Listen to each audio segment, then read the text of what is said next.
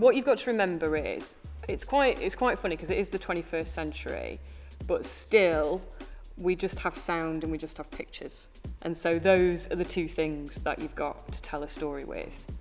And sometimes people forget that you can tell a story with just pictures and you can tell a story with just words. I think sometimes you can use a person's interview out of vision with certain images that will give it greater impact than if they were telling you just straight into camera. You can just use images and no interview or just music and again that will move the story on or convey what you want to say. I made a cutting edge documentary about missing people and I filmed somebody gone missing and then they returned.